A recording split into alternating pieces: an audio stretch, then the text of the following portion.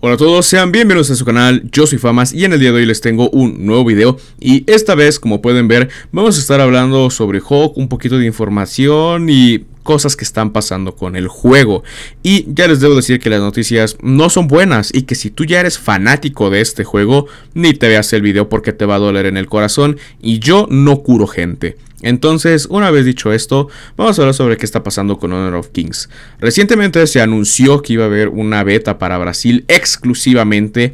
Empezaron con sus eventos, contrataron creadores de contenido.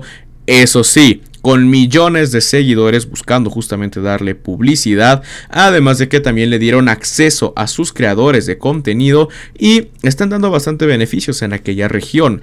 ¿Esto por qué?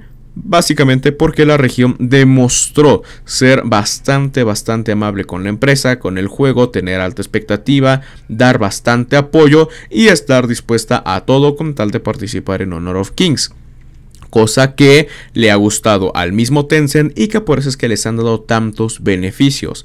Entre ellos que ya anunciaron que el juego va a salir de forma beta, sigue en beta después de meses, pero bueno, va a salir el día 8 de marzo. Ese día ya todo el mundo lo va a poder descargar. Y hasta ahí todo está bien. Esperen, esperen.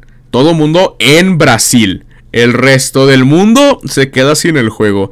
Y es aquí en donde hay que empezar a hablar sobre los problemas de Honor of Kings. Y es que es un juego que lastimosamente, a pesar de que no ha salido, ya viene con muchísimos problemas. Si hablamos un poco sobre la última beta, recordemos que la última beta fue entre agosto y octubre, si no, me, si no mal recuerdo. Y bueno, esta tuvo un resultado mediocre.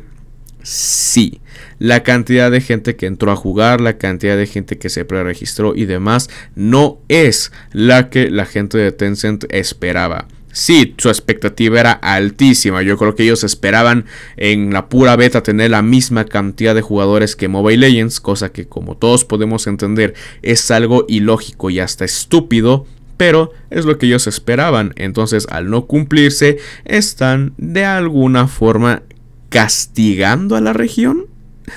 sé que suena algo ridículo, pero así es como se maneja Tencent. Tencent es una empresa que siempre tiene altas expectativas, pero que ofrece calidades bastante mediocres en muchos aspectos. Y quizá tú digas, ¿qué tiene que ver realmente la empresa con Honor of Kings y que no lo sacan y esto y lo otro? Bueno, pues es bastante simple y bastante sencillo.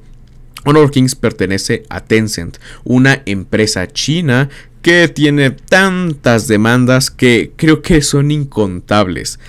De verdad, tiene denuncias, demandas y problemas a más no poder. Pero la más grave, o al menos la más popular de todas, es el problema que tiene con los monopolios. ¿Qué significa? Que Tencent lo que siempre busca es quedarse con todo lo que puede, con todo lo que quiere y evitar tener rivales o competidores. Esto a través de mismas inyecciones económicas o de trabas políticas. Sí, Tencent es más corrupto que un país latinoamericano. ¿Y cuál es el problema? Que teniendo tantas demandas y problemas en China, la empresa está buscando llevar estas prácticas a nivel global.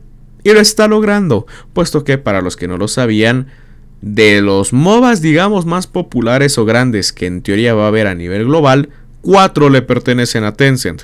League of Legends Wild Rift, Pokémon Unit, Arena of Valor y Honor of Kings son de Tencent. Y sí, alguno me va a decir, pero Pokémon Unit de Wild tienen sus pocos publishers. Sí, tienen sus propios publishers, pero también son pertenecientes a Tencent. Llevan el control, llevan el manejo y están registrados a su mismo nombre. Entonces, entenderán la cantidad de control que tiene sobre esos juegos también. Además de que presta parte de su presupuesto y sus mismos estudios para el desarrollo. Entonces, son de Tencent. Y no es lo único.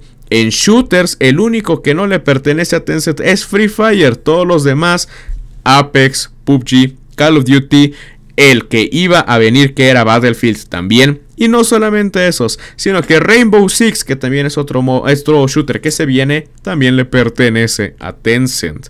Entonces, creo que con esto se están dando cuenta de cómo es que lo que tenían en China lo están trayendo al resto del mundo, nada más que muy disfrazado.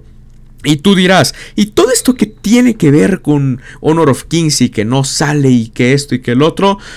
Pues tiene mucho que ver puesto que se imaginarán que al tener tantos juegos bajo su control, se imaginarán que al tener tantos juegos en desarrollo, no le pueden poner la suficiente atención a ninguno. Y si se dan cuenta, la mayoría tienen bastantes problemas y es justamente por eso, por la empresa que está atrás de ellos.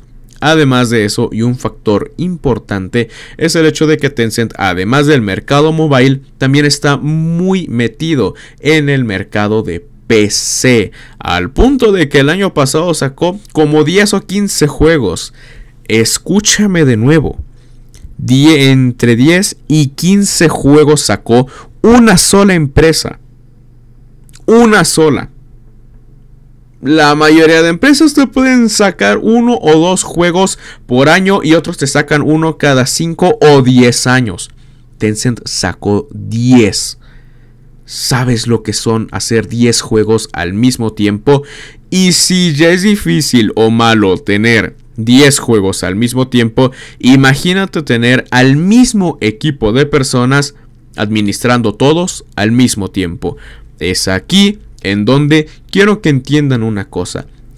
El problema de que el juego no sale, el problema que hay en redes sociales, el problema en general de Honor of Kings y de otros juegos en la TAM no es culpa de los trabajadores. Ellos al fin y al cabo únicamente siguen órdenes y ellos al fin y al cabo únicamente son empleados. No controlan absolutamente nada.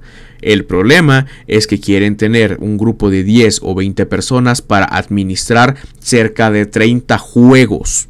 Cosa que ustedes van a entender que es casi imposible. Es imposible poder tener una saturación tal de trabajo y que esperen que lo hagas bien y perfecto. No quiero defender a nadie, pero realmente no podemos culpar a los empleados de que la empresa administre todo tan mal. Ellos al fin y al cabo solamente hacen lo que pueden y lo que les corresponde. Entonces, sé que hay mucha crítica porque las redes sociales en español están muertas, el canal está muerto, que Discord está en un momento terrible en el que ni los mods aparecen, en el que nadie publica nada, no hay información, no hay publicidad, en el que no hay creadores de contenido tampoco. Sé que faltan muchísimas cosas. Sé que hay muchas cosas que en Honor of Kings están mal, pero no es culpa de los empleados. Es culpa de cómo la empresa está haciendo las cosas, al punto de que ha puesto pretextos súper pendejos. Pretextos culturales como que, ay, como Occidente no entiende cosas de nosotros, pues entonces nos vemos obligados a cambiarlas. Algunos personajes del Honor of Kings original no van a llegar tal cual aquí. ¿Por qué? Que porque no los entendemos. Uy, pues perdón por ser ignorante y no vivir en China toda mi vida, güey. Perdón. Perdón, empresa multimillonaria, por no entenderte. Otros pretextos. Ay, no apoyaron mi competitivo. Uy, claro, pendejo, porque le das un mes a la gente para prepararse y dos semanas a los demás para enterarse. No pagas a ningún creador de contenido para hacerle publicidad y, además de eso, los güeyes de tu competitivo están entrenando en Mobile Legends y Warriors porque Honor of Kings no les gustó y solo quisieron entrar porque estabas pagando 50 mil dólares.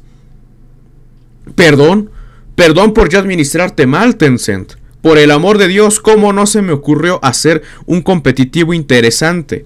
Para que así la gente sí me apoye. Es más, ¿cómo no se me ocurrió dejar el juego en beta para que la gente pudiera seguirlo jugando, creara hype y así sí apoyara mi competitivo? ¿Cómo no se me ocurrió, verdad, Tencent? Si eso añades que haces un mundial de un juego que no has sacado, si eso añades que no tienes creadores de contenido más que en un país al cual sí apoyaste, claramente Hawk está haciendo todo lo que puede hacer mal y yo creo que no se va a reponer. La verdad.